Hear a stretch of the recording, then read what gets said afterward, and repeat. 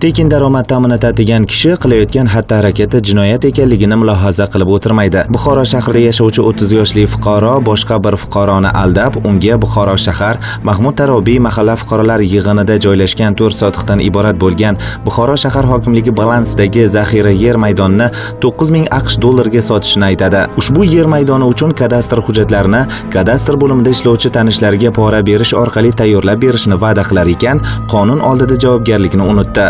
Departamentning buxoro shahar bo'limi va viloyat ichki ishlar boshqarmasi jinoyat qidiruv boshqarmasi xodimlari tomonidan o'tkazilgan tezkor tadbirda qonunbuzar akasining yashash xonadonida 9000 aqsh dollarini olgan vaqtida qo'lga tushdi. Davri kelganda davron surib qolishni o'ylagan yana bir buxoro tumanida yashovchi fuqaro buxoro shahrida yashovchi ikki fuqaroni aldab ishonchini suiiste'mol qildi. U albatta boshqa firibgarlarga tanish bo'lgan va'da ya'ni vakolatli tanishlari orqali ularni viloyat sil kasalliklari dispanseriga ishga joylashtirishga ishontirdi. Departamentning buxoro viloyat boshqarmasi va davlat xavfsizlik xizmati viloyat boshqarmasi xodimlari tomonidan o'tkazilgan tezkor tadbirda buxoro shahridagi kafeda fuqarodan 1800 aqsh dollarini olgan vaqtida ashyoviy dalil bilan jinoyat ustida ushlandi.